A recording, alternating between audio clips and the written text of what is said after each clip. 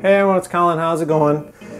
About 10 years ago, I picked up an original NES. I never had one as a kid. I always wanted one. Back in the day, I would just have to go over to like a friend's house to play it. Finally picked one up, used off of eBay. I got a decent deal on it, but this thing, to this day, has given me nothing but problems with the blinking red light of death. After sitting in the garage for the last few years and me being kind of pissed at it, and not wanting to deal with it, I figured, you know what, let's just, let's finally get this thing fixed. I'll show you the two kind of common causes for fixing the blinking red light of death. I'm pretty sure I know what it will take to fix this unit, but if what I have to do is too much for your case, I'll show you what kind of the easier method is to fix one of these. That may be a more common cause. Mine's a little less common of a cause. But let's hook this thing up and I'll show you exactly what it's doing. Alright, so we've got a copy of Old School Mario Brothers Duck Hunt here. Jam that guy in there. So you can see nothing, just blinking. We're just blinking. Let's get the NES taken apart and I'll show you the two ways that you can go about fixing this. Okay, so we've gotten the NES disconnected. I've taken the cartridge out, no wires, no nothing. So the first thing we need to do is get the top taken off of the bottom. How we do that is flip the unit over, get a Phillips head screwdriver, and just start pulling screws out. This is pre-Gamebit days, believe it or not. Uh, so Nintendo just used regular Phillips head screws on this. Uh, you know, back in the day, old school engineering before they realized people wanted to get in and start modding their consoles and stuff.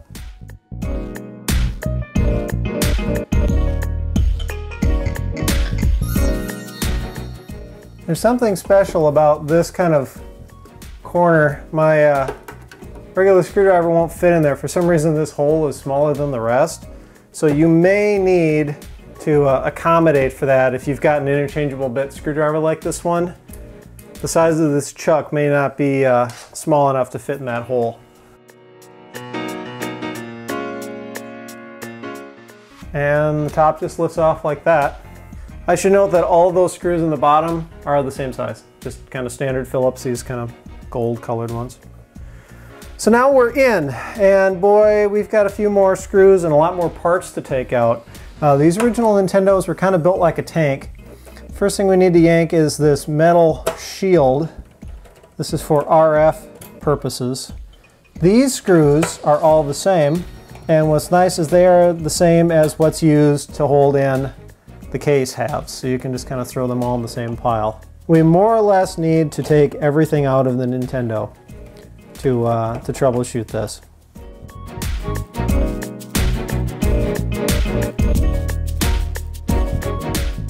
Most of these screws should actually also be about the same.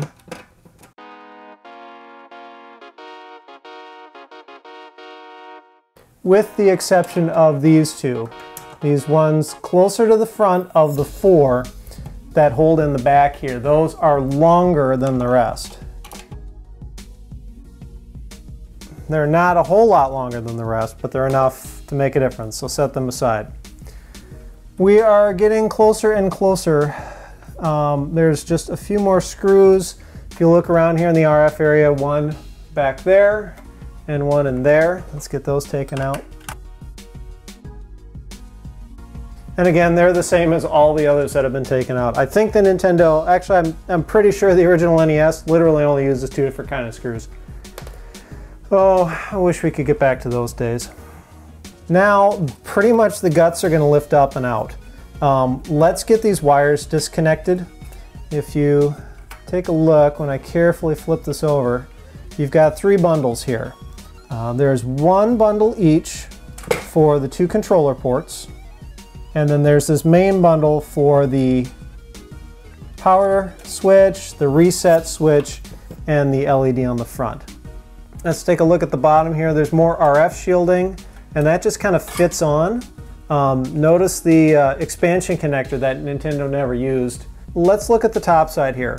The probably most common cause for the blinking red light of death on an original NES is this guy. This is the 72 pin connector. It's what your cartridges slot into when you plug them in. So that's the opposite, you know, end of the card edge connector on the cartridge itself. Um, obviously, with these consoles being like 30 years old now, um, and especially with, you know, who knows where these have been, these can get corroded, they can get bad, the pins can get, get bent. I'm assuming that if you're watching this video, you've probably already tried cleaning this. The easiest way to do that is to get a cotton swab with a really long reach to it, dip it in some isopropyl alcohol and just stick it in there and go back and forth. Um, you can also try some spray electrical contact cleaner if you get the kind with the straw and you can go in through the cartridge slot and spray that in there. If you do that method, make sure that you let this thing dry out for a while uh, because when you spray stuff, it's gonna get in there. Anyway, since we've taken all these screws out, let's uh, get a closer look at that card edge connector here. And we can do that by removing this kind of plastic cage that the cartridges fit into. Uh, it just pretty much just slides off, but it's a pretty tight fit. So here's the board. This card edge connector, assuming that you've cleaned it, 72 pin, and cleaning it doesn't fix it, you can buy replacement ones of these. Uh, there have been people that have made replacement ones. They're not terribly expensive either. So all you got to do to replace it, it's deceptively easy. Once you get the board to this point, and it's taken how many minutes? Just a couple of minutes so far to get down to this. This card edge connector just slides right off. Pretty easy. Just kind of gently go back and forth and it comes off. Uh, this, in my case, actually is a replacement card edge connector. This is not the original one. At least I don't think it's the original one. Uh, I do have another one, which I believe is the original one. But in any case, this one's in really good shape. I've cleaned it up. I know this one is good. So I'm going to continue on and show you what the other option is for fixing up one of these consoles when it gives you the blinking red light of death. Now, I've got my soldering iron off to the side over here. I'm gonna turn it on at this point because we're gonna need it. Let's talk a little bit about the NES lockout chip. So on the circuit board, we have the Nintendo lockout chip. That's this guy right here. What that chip did really was to prevent piracy and also people from importing games into regions where they shouldn't play them. So for example, it keeps people with an NTSC system like one sold in the US from playing games that they bought over in Europe. So it basically prevents PAL games from playing NTSC, vice versa. These chips were custom, you can't really buy replacements. They were not off the shelf. And for some reason, these chips fail over time. So what we need to do is disable this chip. There are two ways to do so. The, uh, the cheat way is to use a pair of diagonal cutters and to go in here and cut pin 4 so that it no longer makes contact. We don't do the cheat way around here. If you've watched any of my videos where I'm doing any sort of how-to, you know I don't do the cheat way. I'm gonna do it the right way, or at least what I feel is the right way, and a way that makes this undoable. So the reason why I fired up the soldering iron is I'm going to desolder this chip, bend pin 4, and then resolder the chip back down. Uh, if, if I need to put that pin back in for some reason, I want to restore the system to stock or whatever, I'll have that pin still available on the chip if I need to. I'm not damaging the chip. And that's really the way that I like to do pretty much any of my mods. Uh, I like to make them undoable whenever possible. Yes, I know there's still a ton of Nintendos out there now, but that doesn't mean there's going to be a ton of Nintendos out there a few years from now, a few decades from now. It is going to take a little while for me to, uh, to desolder this, so I'm just going to set this guy to fast forward and, uh, and we'll see what we can do.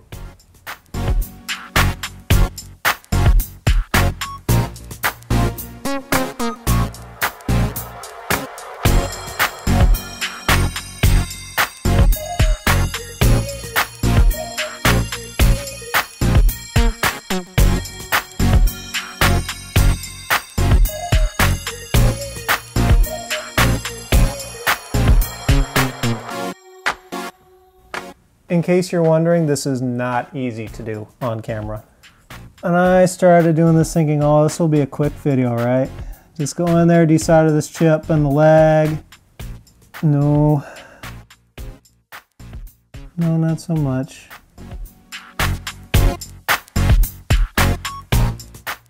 Okay, well, you know what I said about not doing this the cheat way? Well, as you look at the chip, you can see the writing is up. All you want to do is bend out the fourth leg. So one, two, three, four. Just bend this one away when you put the chip back in so that that leg won't make contact with the, uh, the through hole. I'm going to resolder this thing and then we'll just do the cheat way. So in an attempt to uh, make this so that I can indeed undo this in the future somehow, um, I'm going to try and trim that pin down where it meets the board instead of at the body of the chip. That leg has been cut from the board and I've just bent it up and away. I cut it down at the board because now if I do want to undo this, I have a chance at bending that leg down and then just sticking a little solder bridge on there. Um, I really would have preferred to just pulled the whole chip out, bent the pin out, and stuck the chin back, the, the chip back in, especially since there is this room in here. I mean, the, it, that full length of that leg sticking out would not have gotten in the way of any other components, but eh, it is what it is. So now it's really just a matter of putting this whole thing back together. Hit fast forward again.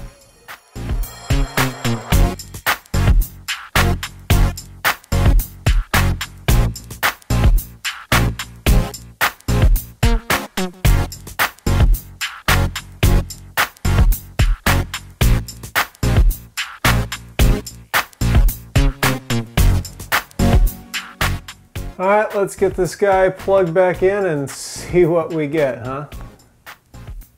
Okay, so moment of truth, here we go. We uh, got it all back together, plugged in. Here's the uh, same Mario Brothers Duck Hunt cart we did before. Push the button. Success! Check that out. Playing, it's working fine. Looks good, no blinky red light. I like it. The benefit to disabling the lockout chip, other than fixing any of these, you know, potential red light of death type of issues, is now you can play pretty much any of the import NES games that you want. So anything that came out only in Europe, you can play in here provided that you have a TV capable of accepting PAL video signal input, because they did use different frequency over there. Otherwise, you've got a working NES now. It really wasn't that hard to do. Um, maybe, maybe you do want to just do it the easy way and just clip that pin. Although if you've got the free time and aren't trying to do it on camera like I just did, I really would recommend desoldering that chip, bending pin 4, and putting the chip back in and resoldering it. It's just going to be a lot better that way. Uh, you can undo it that way if you ever need to, to revert for whatever reason, or if you just want to resell the console and be able to say, you know, with a clean conscience that this thing is as it was, you know, the, the way it originally shipped without any mods. Anyway, if you like this video, I always like thumbs ups. I do appreciate those. I have new videos coming out every Tuesday, so if you'd like to get alerted to those automatically, just hit the subscribe button right down there somewhere. And as always, thank you all so much for watching.